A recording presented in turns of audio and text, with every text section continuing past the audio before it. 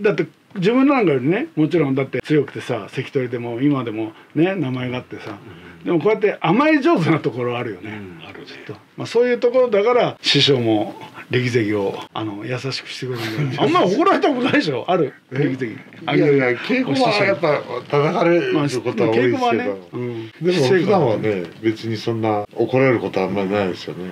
いや確かに本当怒られてるの見たことないよね。ね「誰?」って言われて。だからだからってさ、ふてくされてはないけど「はい」って別に「はい」ってこんなんなんないもんね、やっぱそこは優しいあのなんていうの？親方に甘やかされたんじゃないの？おかみさんとかに。結構さそうだよね。俺たちはやってこうずっともうピシッとしてないといけないのになんか力関意外にテーブルの上とかに手とか置いちゃって「え？はい。えとか言ってさそんなこと言うわけないいやいや言ってたから。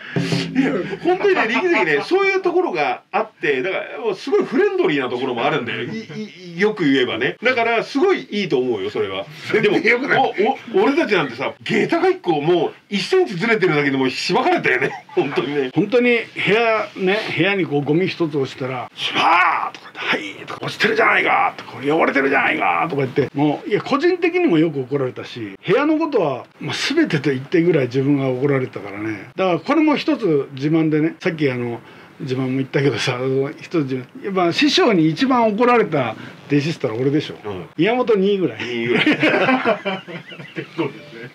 ああ思い出した。それで すいません話しとくけどさ、名古屋場所のあのまだみんなね若い人の時ねこうやって千秋楽終わって休みの時にこう夜中師匠が起きてきてさあ起きててどっか帰ってきて酔っ払って帰ってきたらバーン蹴られてさシュワーバーンって蹴られて「お前なろ!」ってへっと思って夜中だよ「死んで死ないじゃないか!」って「お前がしっかりしないからだ!」って怒られたけど「えっ!」ってえって何の？でも師匠がそのね門限なしにしたからあの門限なくなね場所休みの門限なしにしたからみんな出かけてるだけなんだけどさバンって蹴られて「やろ寝ぼけた顔しやがって!」って「いや寝ぼけてますけど」って夜中の2時頃叩きこされてと「しばーそうめん持ってこい」そうめん作って持ってこい」って言われて「はい」なんで俺がってなるじゃない。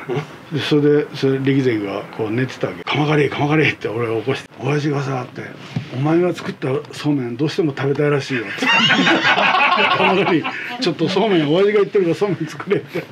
それ力関が作って「やっぱ鎌狩りお前のそうめんが一番美味しいらしいよ」みたいなこと。力関も「ええ」とか言ってこう作って。覚えてる？覚えてない私から見た力関は、甘え上手なとこ。ろです。これが大切なんですよ。店でね。そうそうそう。店で。お客さんにこう甘えて、ん。もうやっぱこう応援してもらうっていうことは大事なんですよ、だから力関だから店す初めこのど辞めてドラゴンやる時もさ初めドラゴンやる時に「千葉さん店やるってどうやるんですか?」ってこうさ聞いてきてさ「いやこうした方がああした方がいいよ」みたいなそれなりにアドバイスさせてもらってそれでドラゴンやってそれでどんどんバンバン大きくなってさ、それから電話くれるじゃないちょこちょこ。